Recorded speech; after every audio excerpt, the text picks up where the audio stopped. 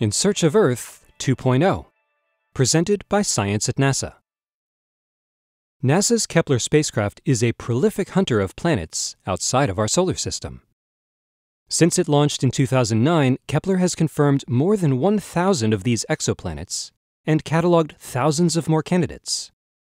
The menagerie includes planets with densities greater than iron and lower than styrofoam, planets smaller than Mercury and bigger than Jupiter, planets with one sun, two suns, and even four suns.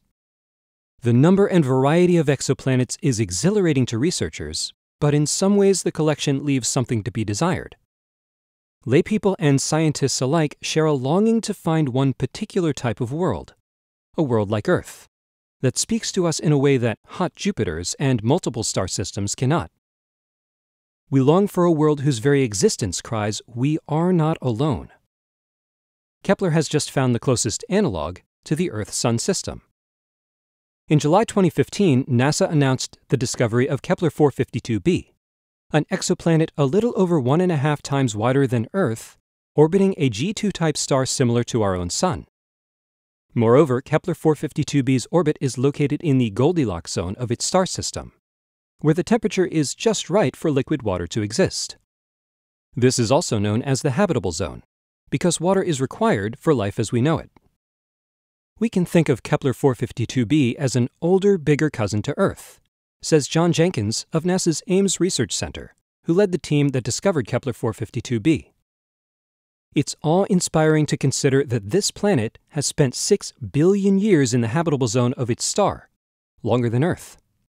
That's substantial opportunity for life to arise should all the necessary ingredients and conditions for life exist on this planet. Kepler 452b isn't the first exoplanet found in a habitable zone. Indeed, about a dozen such worlds in this size range have been discovered so far. That is, 10 to 15 planets between one half and twice the diameter of Earth, depending on how the habitable zone is defined and allowing for uncertainties in measured planetary sizes. Among those dozen, Kepler 452b fires the imagination most because it is the closest analog to the Earth Sun system discovered to date a planet only a little over one and a half times the diameter of Earth, orbiting within the habitable zone of a star very much like our own Sun. A year on Kepler 452b is 385 days long, only a few weeks longer than a year on Earth. The planet is only 5% farther from its parent star than Earth is from the Sun. This extra distance is mitigated by extra sunlight. Kepler 452b's parent star is 20% brighter and has a diameter 10% larger than the Sun. The similarities are remarkable indeed. Says John Grunsfeld, Associate Administrator of NASA's Science Mission Directorate at the agency's headquarters in Washington, D.C., this exciting result brings us one step closer to finding an Earth 2.0.